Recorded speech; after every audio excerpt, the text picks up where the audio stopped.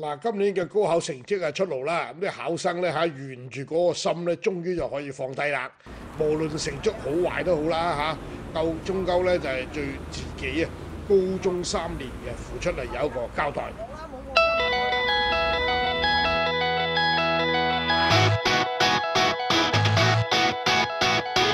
我是廣州市直信中學籃球隊的九號唐文。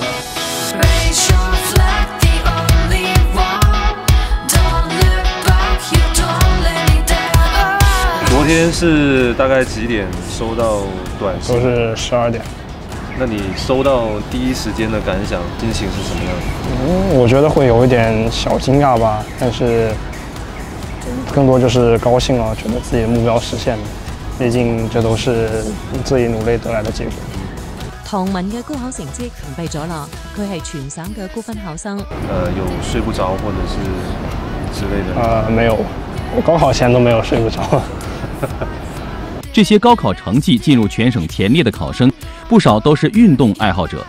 唐文就曾作为校队的一员，随直信男篮在广州市篮球联赛中连续三年打入八强，人称直信科沃尔”。我们也很早就知道你是直信中学校队的一份子，没有大家想象中这么夸张了，是吧？是的。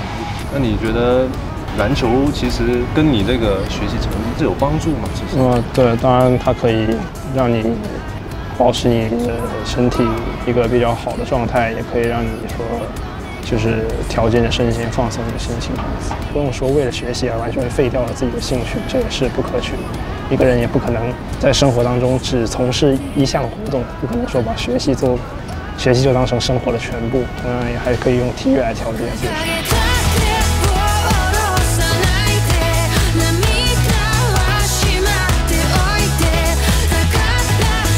覺得。很多时候，可能有些人还是有些偏见吧。打篮球的人很多，他们也同样有很好的素质，有很好的品格这方面。但是，确实有的时候，体育生或者是练体育的人，会因为在体育上花的时间，导致他们在练体育的人，他们同样也可以实现自己的价值。我觉得，本身练体育和学习这两样东西都是平等。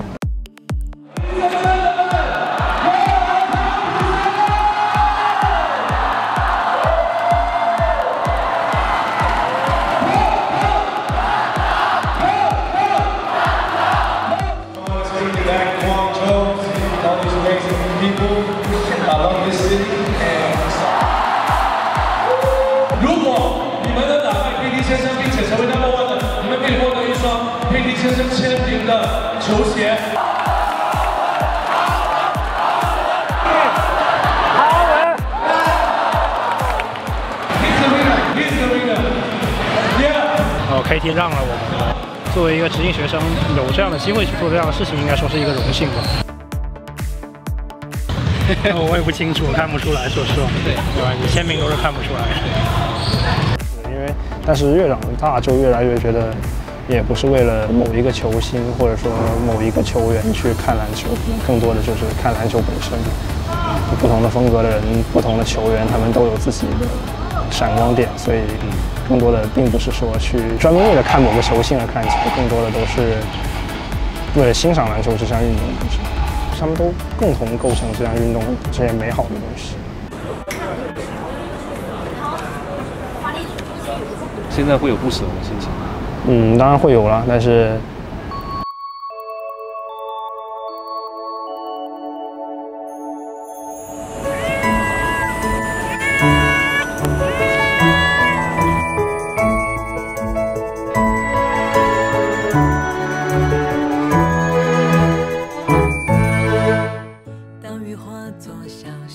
因为毕竟在这里已经过了六年嘛，我真的觉得这个地方已經是就像我的第二个家一样的，所以当然会有不捨，但是也是要迎接新的开始。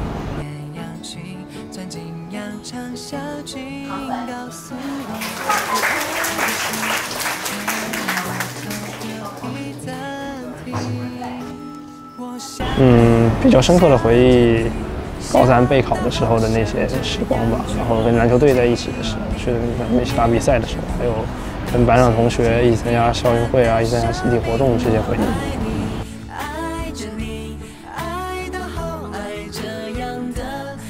跟随校队去打球，这个更多就是一种经历吧，就是说让我的整个高中三年的回忆变得更加的丰富对于我来说，在球队中的回忆是非常重要的一部分，它构成了我整个高三这个美好的整个高中三年这个美好的这种一种回忆，然后再给我带来的友谊吧。我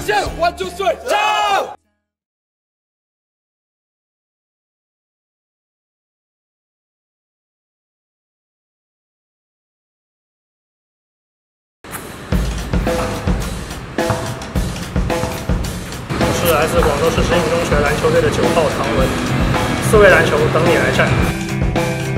在大学之前好好玩一玩。啊，是，有没有想过冲击一下校队之类的？嗯，这个就我觉得就随缘吧。